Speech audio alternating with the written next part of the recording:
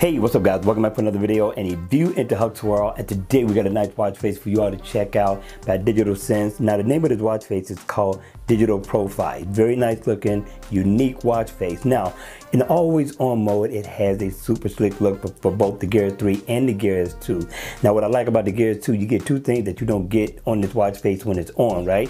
That's the digital time at the top and you also get an AM PM stamp to the side, the left hand side. But the Gear S2 looks super, super slick. I really wish this was a watch face.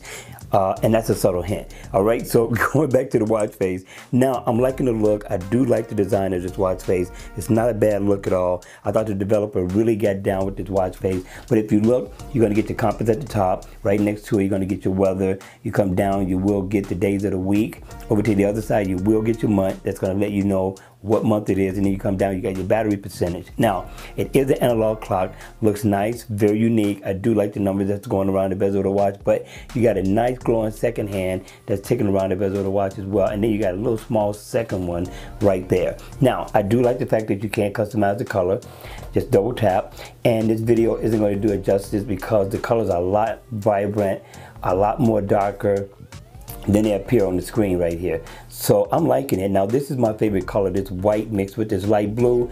Very nice for a night out on, on the town. I'm liking it. All right, you all, you know what you, you know what I need for you to do. Hit me in the comment section down below. Let me know your thoughts on this watch face. And if you like the video, please make sure you hit the like button on the way out. And if you want to see more, then just subscribe to the channel. And I'll see you all again at the next video. Take care.